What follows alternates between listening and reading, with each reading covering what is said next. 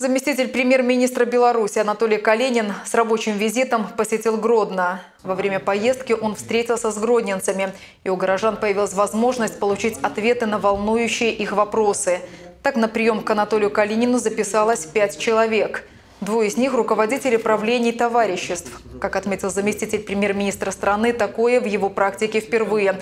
Как правило, по вопросам эксплуатации, содержания и обслуживания жилищно-строительных кооперативов обращаются сами жильцы. Кроме этого, гродненцы обратились к Анатолию Калинину с просьбой помочь благоустроить улицы в микрорайонах индивидуальной жилой застройки.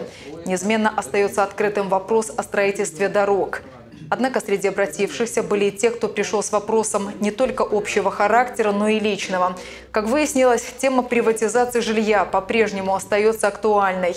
Кроме всего прочего, гродненцы решили воспользоваться случаем и на прием к заместителю премьер-министра страны прийти не только с просьбой помочь решить некоторые вопросы, но и с предложением об улучшении инфраструктуры города. Более года назад в Гродно начал действовать безвизовый режим для иностранных туристов – с конца 2017 года он был продлен. Теперь срок без визы 10 дней и расширена его территория. Сейчас в него входит весь Гродненский район, железнодорожный вокзал и Гродненский аэропорт. Именно с предложением развивать авиапути в рамках безвизового режима обратился на прием граждан Гродненец. К слову, в 2016 году Гродненский аэропорт принял около 5 тысяч пассажиров, в 2017 в два раза больше – в этом году, говорят представители власти, ожидается еще увеличение количества пассажиров, в том числе и иностранных. Уже в начале 2018 года Гродненский аэропорт встретил представителей бизнеса по безвизовому режиму. Анатолий Калинин отметил, что 10 дней безвизового режима – это не предел.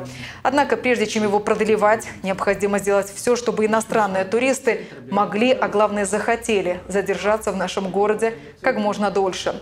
Кроме этого, планируется активно рекламировать безвизовый режим в Гродно за рубежом. Поезда направлений Гродно-Варшава, Гродно-Белосток и Гродно-Вильнюс – в отличие от аэропорта, пользуются большим спросом и у гродненцев, и у гостей города и соседних стран. Поэтому планируется на летний период добавить несколько поездов по этим маршрутам.